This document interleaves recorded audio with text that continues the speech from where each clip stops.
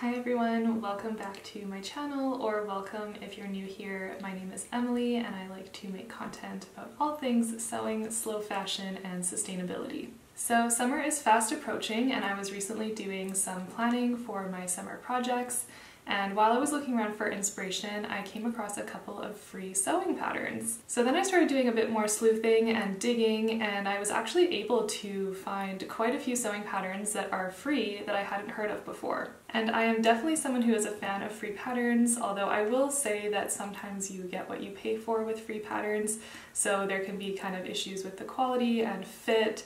Um, but for the most part, I've used a lot of free patterns in the past and had quite a lot of success with them.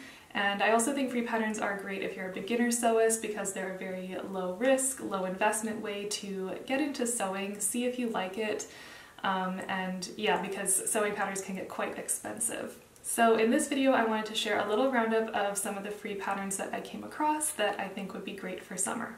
Before we jump into it, I do want to take a moment to talk about the sponsor of today's video, which is BetterHelp. And let me just start off by saying that I am someone who really believes in therapy and thinks it's so important and I really think that there's nothing wrong or shameful about wanting or needing therapy. To me, going to therapy is kind of like going to the dentist or going for physio or for massage.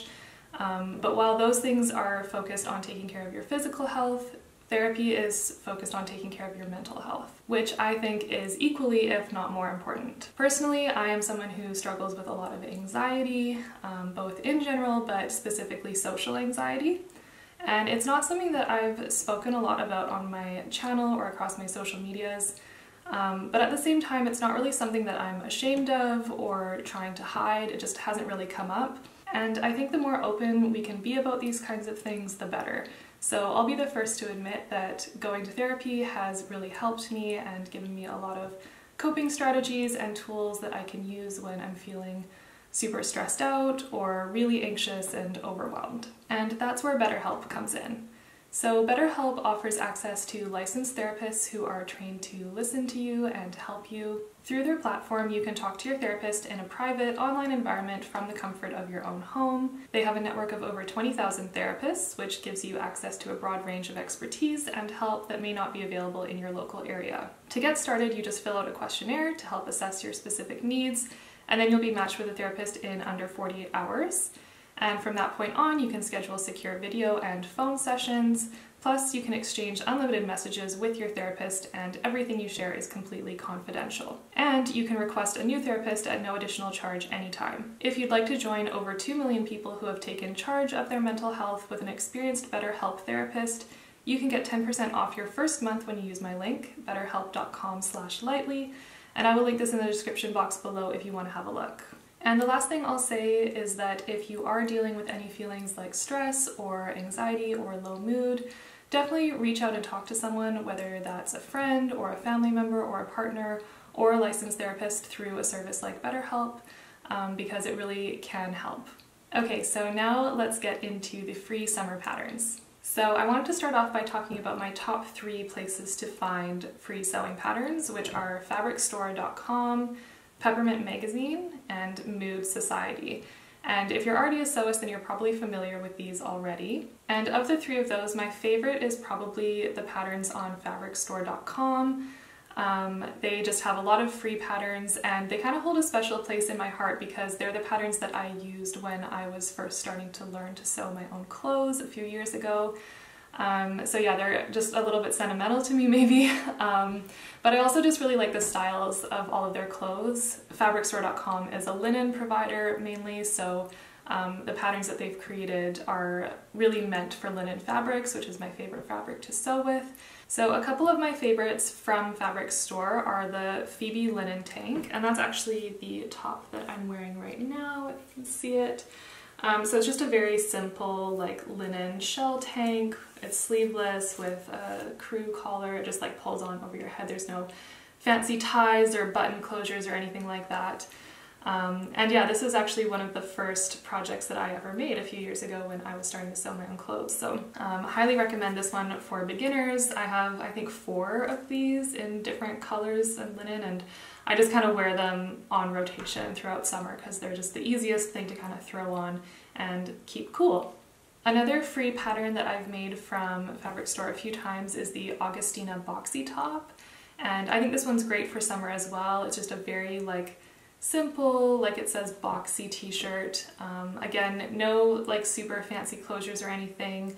Um, and it has a short sleeve with kind of an armband, which is very similar to the Elizabeth Suzanne Georgia tee, um, if you like that style. And yeah, I've made, I think, two of those, so I'll insert a photo or a little video of me wearing one of them here so you can see what it looks like. Um, but yeah, I think that's a really great, just kind of basic casual wardrobe staple for summer and also for any other season. Um, it layers really well under sweaters and jackets and stuff like that. And then the last pattern that I really like from Fabric Store is the Magda pants pattern. Um, and this was the first pants pattern that I ever made.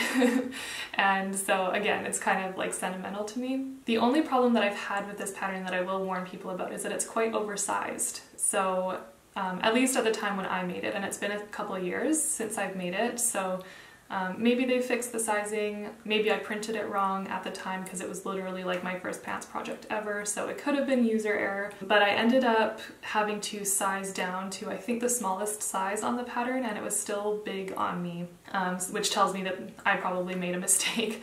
Um, so just watch that if you are going to try and make those ones. Just maybe make a muslin first, just test the fit, um, like literally measure the pieces and kind of see uh, where they're going to end up. But yeah, other than that, I think it's a really great pattern. I love a good pair of like relaxed linen trousers for summer with an easy elastic pull-on waist. Um, yeah, I would highly recommend something like that for summer.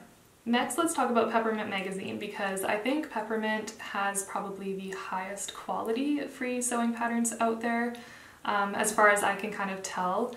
And I think the reason for that is that they actually partner with pattern makers to create their patterns. Um, so they'll partner with people like Common Stitch or In the Folds and then make a free pattern which they then um, promote through their magazine. And you just have to sign up for their newsletter to be able to download patterns. Um, but they're completely free and yeah, I've made a few of their patterns so far and I think that they're really great. Um, there's a lot of variety and they're adding new ones all the time. So if you're looking for free patterns, definitely a place to go if you haven't um, checked them out already. So a couple that I thought would be great for summer are the everyday dress, and I've made this one before. It's just like a very oversized, kind of short sleeve, simple um, v-neck dress with a waist tie. Um, I made it in linen and I think I made a size probably too big, but in the end it actually was kind of a happy accident because it's just this really like oversized, flowy, relaxed dress that you can just kind of throw on and just be done with your outfit for the day. Um, so I do get a lot of wear out of that one in the summer. And then another pattern which I thought would be really cute for summer from Peppermint was the, let me just look here, the Skye shorts. Um, so these are kind of like an um, longer kind of A-line fit short it looks like. They have a flat waistband in the front and then elastic in the back so they just pull on really easily.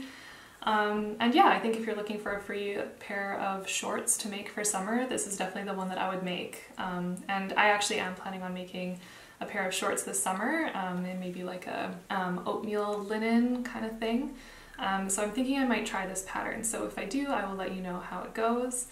Um, but definitely just check them out. They have a ton of free patterns on their site in their like kind of learning library. So have a look. They've got a lot I think that would be completely suitable for summer and would suit a different range of styles. Okay, and then Mood Sewciety, which is the last of my kind of top three places to go. Um, they just have like probably the largest library of free sewing patterns that I've ever seen. And I don't actually think that I've made anything from them yet. Um, I'm trying to remember. I don't think that I have, but I do think that if you are looking for a pattern or a free pattern, you'll probably be able to find it on their site um, or something at least similar because they just have so many to choose from. And they are also releasing new ones all the time. So one that I came across that I think was released more recently is called the Perth dress. And this one's really cute. It's just got like a very simple bodice, kind of similar to what I'm wearing here, but just maybe a little bit more fitted with bust darts and then a gathered skirt. So it looks very like simple and yeah, just kind of like sleek from the front. But then in the back, um, it has this really cute cutout detail with um, a drawstring.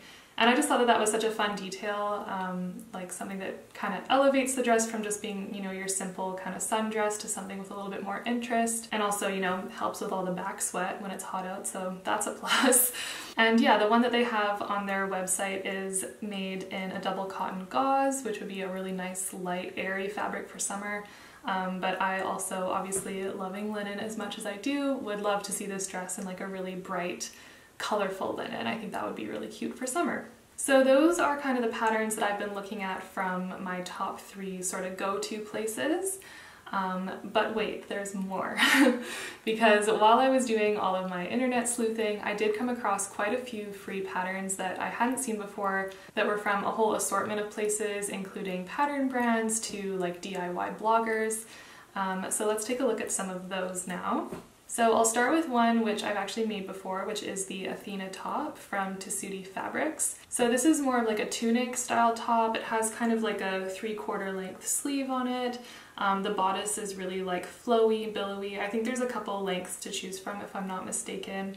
Um, and I've made this one a couple times. I think I've made two versions. One that was kind of like a wearable toile and then one that was based on that one. I had made some adjustments and then made the final version. And I think my only adjustment was to just size up once because I found the arms to be a little bit slim for my preferences. But yeah, I love this top. I think it's great for summer. I like that it has longer sleeves. So if you are someone who's looking for like a little bit more coverage, I think this is a great option. Um, I definitely think it's something you could use as like a beach cover up as well if you made it in like a really lightweight cotton or linen. I think that would look really cute. And it's also a very simple pattern as well. So it's literally just the front, back, you attach the sleeves, um, and then you're pretty much good to go. So a very quick and easy sew that I would definitely recommend for beginners as well. Okay, let's take a look at the next one. Um, actually what I had done is I, as I came across these free patterns, I was just kind of like taking notes of them in my phone. And now I've kind of forgotten what I actually came across. So I'm like opening these ones and being like, oh yeah, this one, or like, oh, this is actually cute. Um, so it's like I'm rediscovering them with you. Um, but let's see what the next one is. Okay, so this one is from DIY Daisy, and this is the Maya ruffle dress and top. And okay, yeah, this one's really cute. um, I totally forgot what this one was.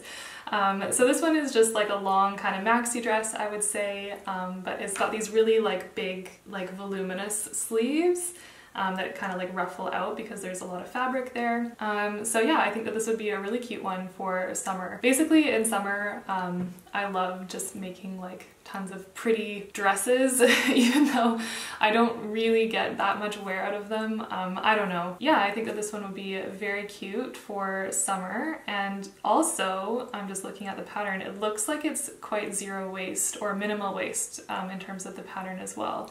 Um, so there's not actually a pattern that you print out, you just um, like take her measurements off of her post and then create a dress out of it. And it looks pretty simple. So yeah, if you're looking for kind of a maxi dress with a little bit of an interesting twist in terms of the sleeve, then definitely check this one out. Okay, so next are two patterns from a company called Grasser, which I actually hadn't heard of before I started kind of looking around for free patterns. Um, and they have like quite a few patterns for sale, but then they also have a couple of free ones, I guess if they just want you to be able to like test their patterns, get a feel for how they work and if you like them. Um, so they have this first one, which is a dress pattern number 217. And this one's really cute. It's just like a very typical kind of camisole sundress, it looks like. Um, it has maybe like a bit of an A-line flare to it, um, slits in the side. Um, yeah, I think that this is just a really cute kind of like summery mini dress. And it looks like one where you can also like customize the length to your preferences as well if you wanted to make it a little bit longer, like knee length or midi length even. Um, so yeah, something just like very simple, cute for summer. Um, and then they also have a sundress pattern number 619.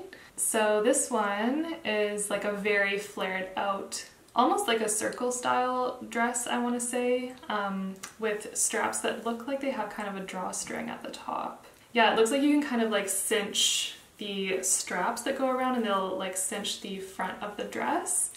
Um, so that's kind of a cute detail. I like these kinds of silhouettes where there's like a lot of fabric, especially for summer when it's like so hot out and you need something that's got a bit of like airflow, if you know what I mean. Yeah, super cute. I really like that one. Um, I might add that one onto my list. Next, I found two patterns from Seamwork, which I thought would be good patterns for summer as well. So the first one is called the Sorbetto top, and it's like a little tank top. Um, actually very similar to this one in terms of like the style lines, but it does have some more interesting features on it, I would say. So it kind of has um, this like front sort of placket almost that goes down the center, and then it has some like side slits as well. And it looks like there's a little bit of a difference in between the length of the front to the back. And it also looks like they have a short sleeve version as well, so you don't have to make a tank top. So yeah, I think this looks like a very like simple and easy top with a little bit of interest um, in terms of the design that would work really well for summer. And yeah, I think you could choose um, different fabrics to kind of make this your own style.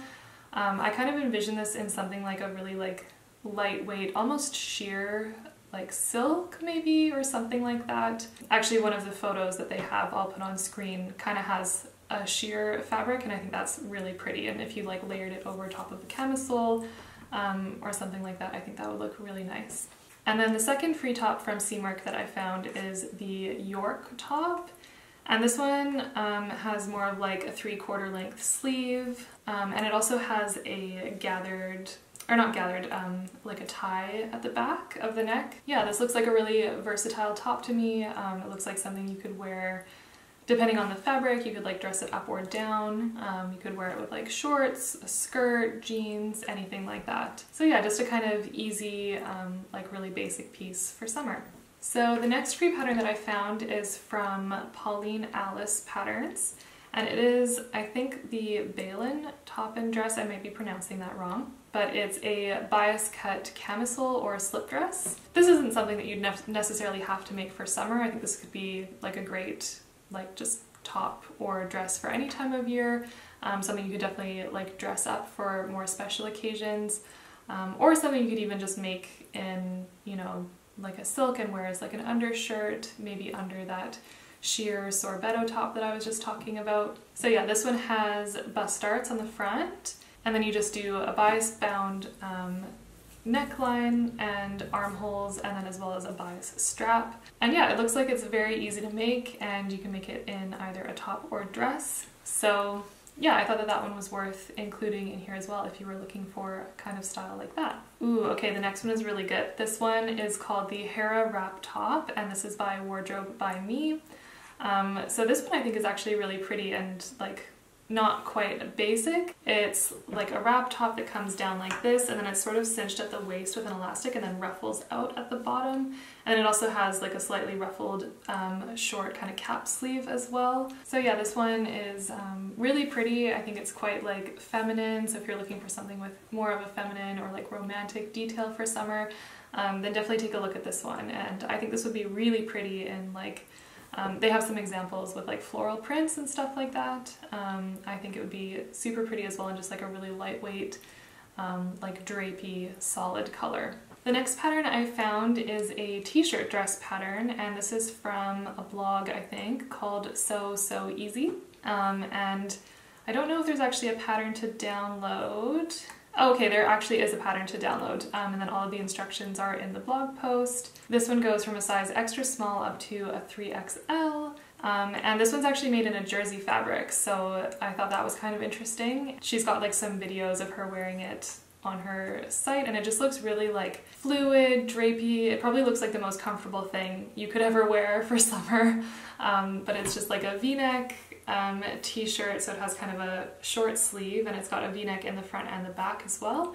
And then it's quite long, so it looks like it's about ankle length and it has some slits up the sides so that you can move a bit easier. But yeah, I think that this would just be something that's so easy to just throw on and again, just be done with your outfit for the day um, and looks incredibly comfortable. So that's definitely one that I put on my list to kind of consider for later. The next pattern is actually an accessory. So this is a bucket hat pattern from the Essentials Club.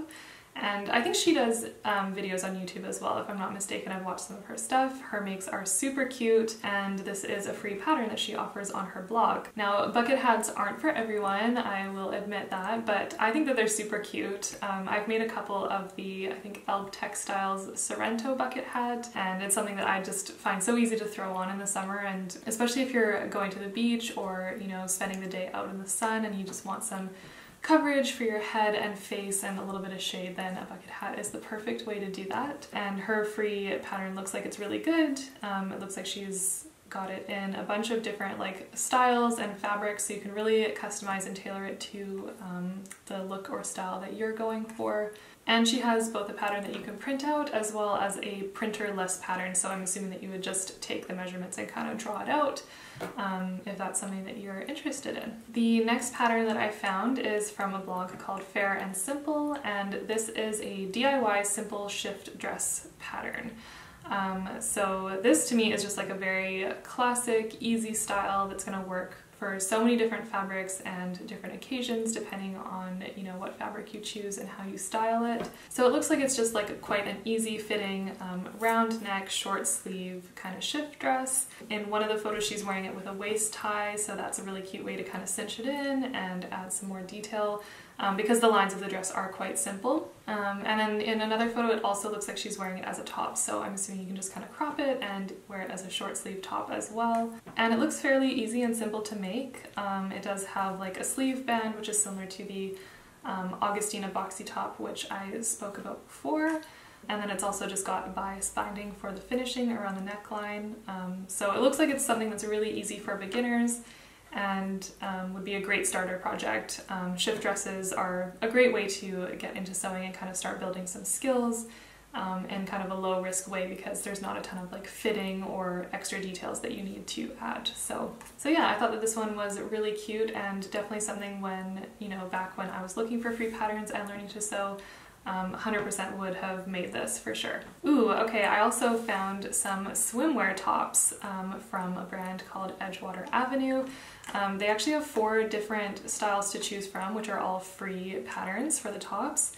And they're super cute. Um, there's one that's kind of like, comes kind of down like this and then ties in the front. Um, they've got just your standard kind of triangle bikini top. They have more of like a tank style top. And then they've got this really cute kind of like gathered or ruched bandeau um, with like connections in the middle. So if swimwear is something that you're looking to make this summer, I know it's more of like an advanced project. Um, something that I haven't really dabbled with too much, um, but would definitely like to try more of.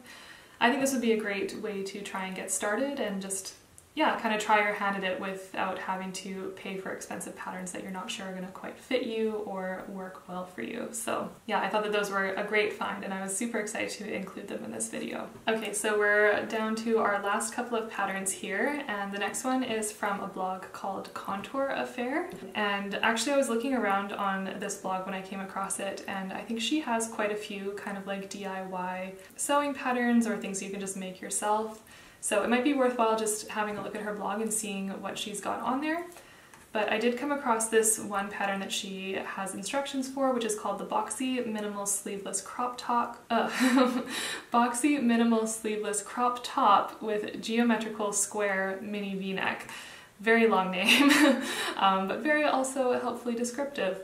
So it's um, a crop top, it's kind of like boxy or like re rectangular shape, there's quite a bit of ease in it, and it has like a thick strap that comes down and then um, a really cute like V cutout detail in the front here. So yeah, I thought that that was really cute, something that I haven't really seen in sewing patterns before, something that I would definitely be interested in making myself, so I have filed this one away for later.